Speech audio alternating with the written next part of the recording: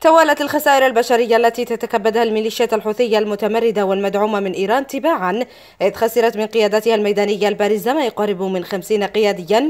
بينهم خبراء تصنيع أسلحة أجانب خلال الأسبوع الأول من نوفمبر الجاري.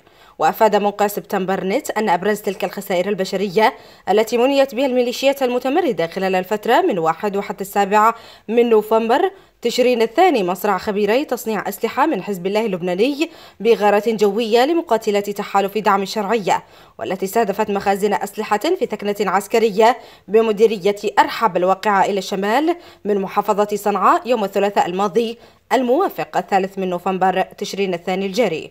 وأيضا مقتل المعين من قبل الميليشيات ركن استطلاع جبهتها في محافظة الضالع المدعو علي حسين المتوكل.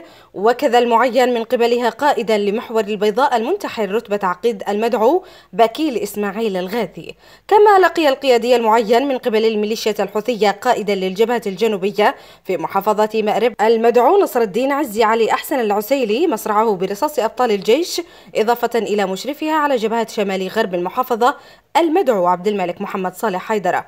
وفي صعيد متصل قتل القيادي الحوثي المعين من قبل ميليشيات الحوثي قائدا لحراسة المنشآت التي تسيطر عليها بمحافظة تعز المدعو وليد عبد أبو لحوم الذي ينتحل رتبة مقدم. ويأتي ذلك في ظل معارك بطولية يخوضها أبطال الجيش والمقاومة الشعبية محققين الانتصارات الواسعة في مختلف جبهات القتال ضد الميليشيات الحوثية التي تتواصل خسائرها البشرية والمادية.